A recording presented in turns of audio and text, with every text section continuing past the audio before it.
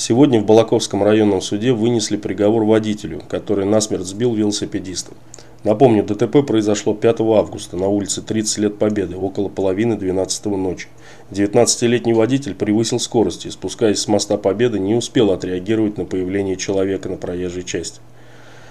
Сам молодой водитель, рассказывая на предыдущем судебном заседании об обстоятельствах аварии, рассказал, что скорость превышал, однако на спуске с моста он якобы убрал ногу с педали газа, и машина шла накатом.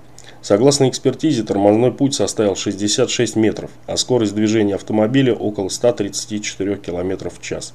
Велосипедиста на дороге водитель заметил поздно. Мужчина пересекал проезжую часть в неположенном месте.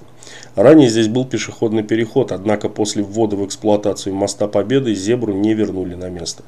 При этом люди продолжали переходить улицу в привычном месте. И как результат ДТП с погибшим человеком. В Курском районном суде был рассмотрен уголовное дело в отношении 19-летнего жителя города Балакова Краснова, который э, совершил дорожно-транспортное происшествие при следующих обстоятельствах. 5 августа 2016 года в ночное время он следовал по мосту Победы а с улицы Гагарина по э, направлению к улице Тернавской и на улице 30 лет Победы у дома 9 1 э, совершил наезд на велосипедиста в результате дорожно-транспортного происшествия а, пострадавший Иванов скончался на месте от полученных травм. В ходе судебного следствия подсудимый вину в рамках предъявленного обвинения полностью признал, раскаялся.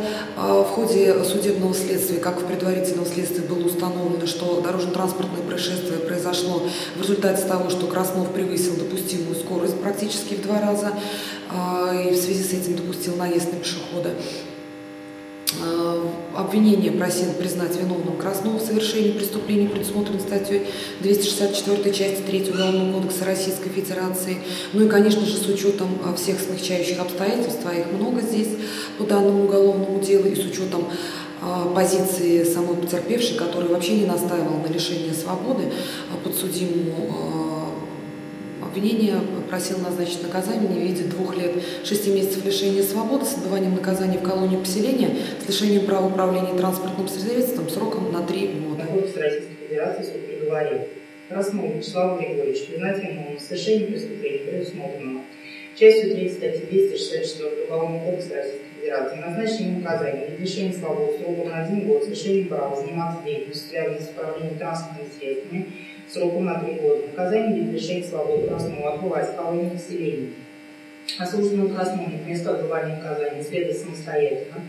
Соблюдением требований статьи 75.1 Уголовного исполнительного кодекса Российской Федерации, регламентирующий порядок направления осужденных в колонию населения. Срок отбывания наказания Красному исчисляется со дня его прибытия в колонию населения с зачетом времени следования осужденного к месту отбывания наказания.